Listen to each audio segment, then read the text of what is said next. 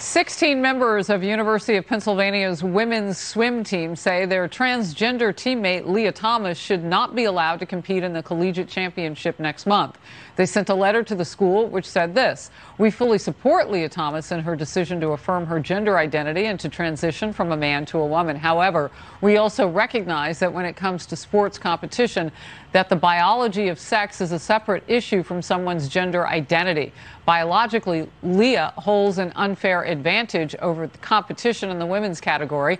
Thomas will likely still be able to compete despite the NCAA's new policy on transgender athletes. Um, real quickly, Emily, I want to come to you first just on how the law sees this. Right. So the the point about this letter was essentially requesting that the school not challenge this NCAA policy because it might prohibit her from competing. And the landscape is that over 31 states have introduced similar bills, essentially uh, requiring athletes to compete in the division that they were the sex that they were assigned at birth. The issue is one of discrimination on the basis of sex, which is because it's a constitutionally protected class, it's subject to strict scrutiny.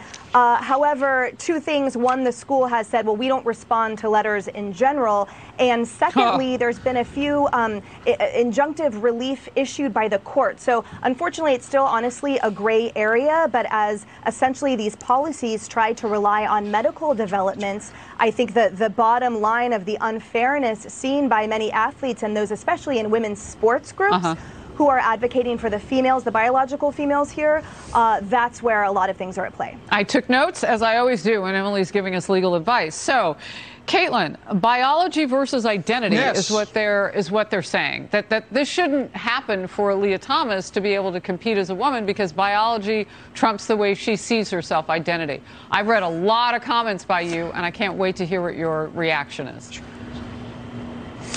Emily's right. In this whole area, it's just a gray area. We don't know what to do.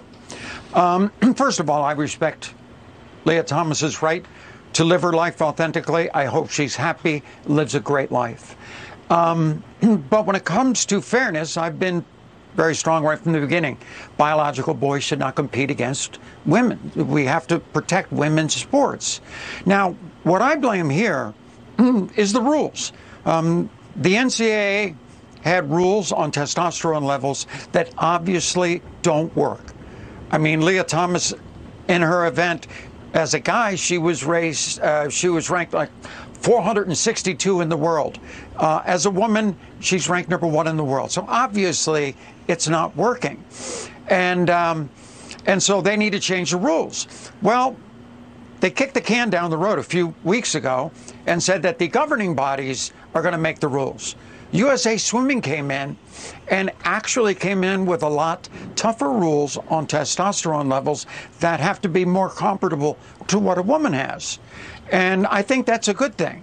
Um, so Lia Thomas may not be able to compete in the NCAAs. Um, we'll see, but it's the rules.